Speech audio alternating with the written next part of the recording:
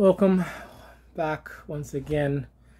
Hate to do these, but sometimes the work and the word needs to get out some way and somehow. And if we keep quiet, these dog lovers, dog nuts, and dog owners will take advantage of it and be reckless.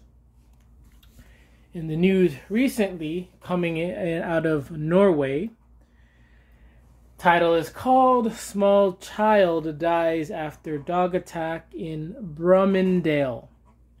This article can be found on norwaytoday.info. Uh, there's no date.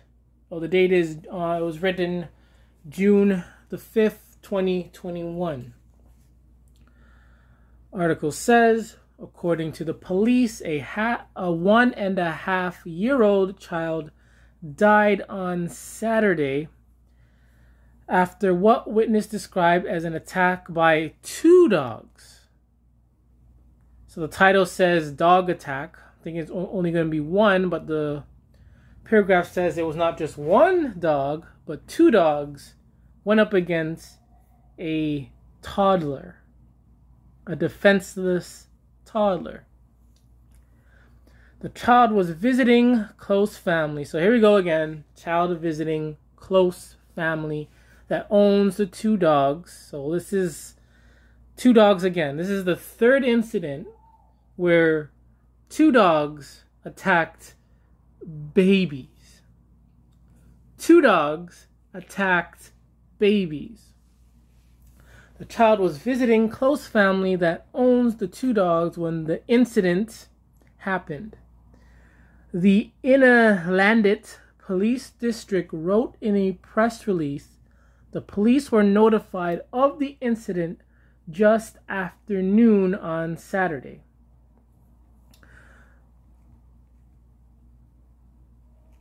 The dogs have been requested to be killed by the owner.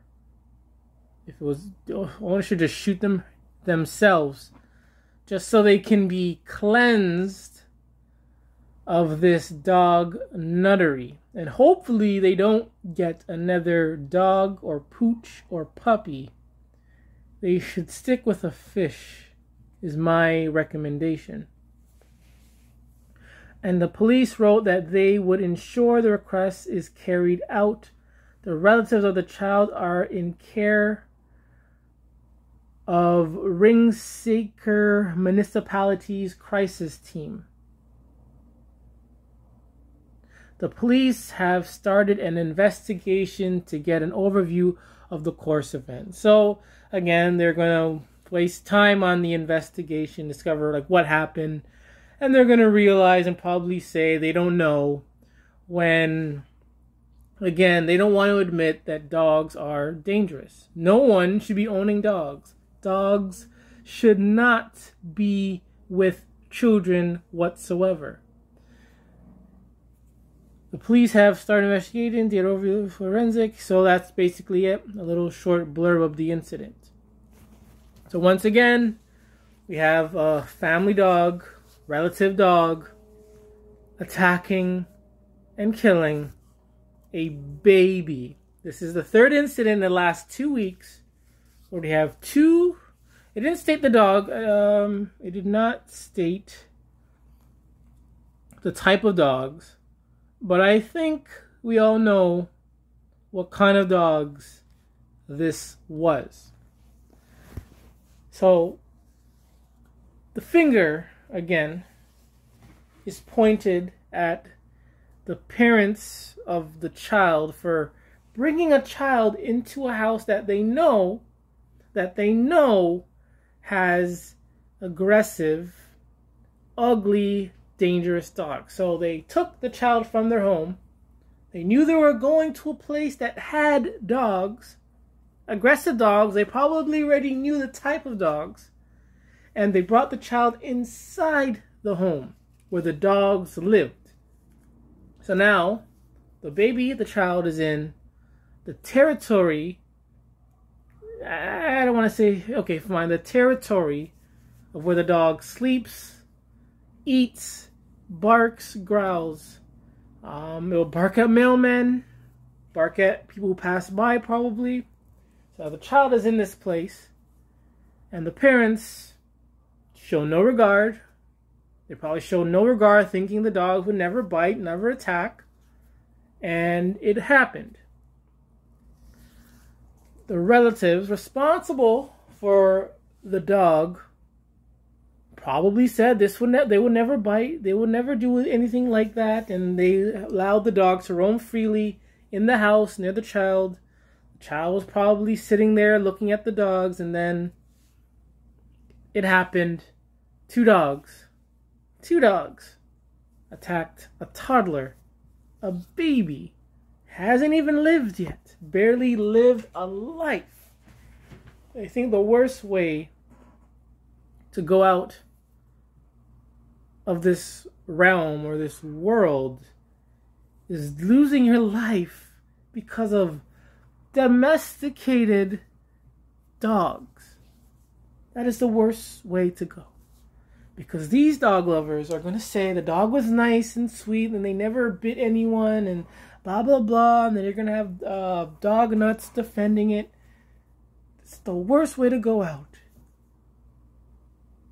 For anyone it's by the hands of dogs because whatever the circumstances is, people deliberately go to pet shops, shelters, wherever. They take the dog up, pick the dog up, take the dog up, and they place the dog in the home thinking this is going to be a good dog.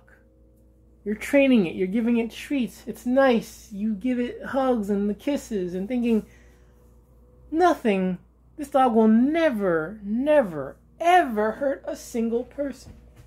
After the countless story of dog attacks on children, countless stories of dog attacks on children, they ignore it. They ignore all that. They ignore the news, ignore the facts, ignore the stats, and they place a dog in their home knowing that someday they're going to have children over. They knew, they knew, they knew someday we're going to have children over for a party, for a gathering, etc.